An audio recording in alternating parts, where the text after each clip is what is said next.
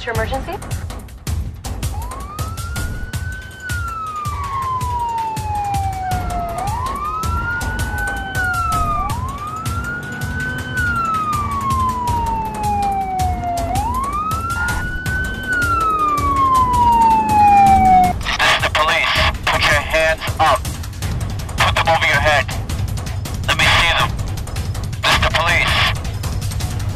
Hands up.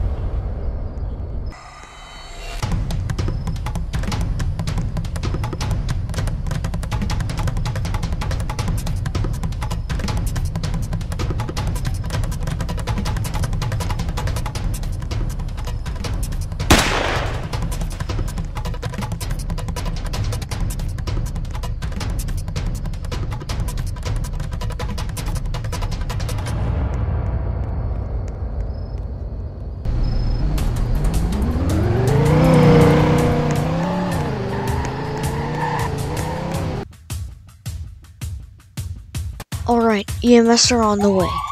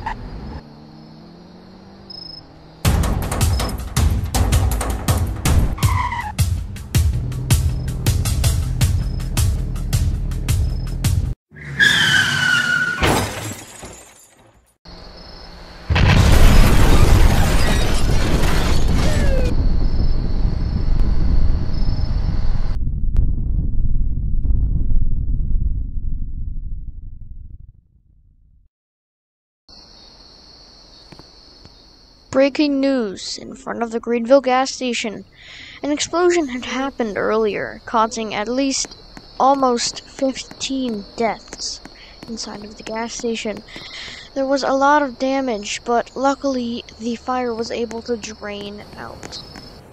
Here's an example of some of the wreckage here. We have a Mercedes that was launched in the air um, into this Tesla. It um was pretty bad. The person in the car was luckily alive. He's doing cur- currently fine in the hospital. Uh, this this wreckage though is it's really bad.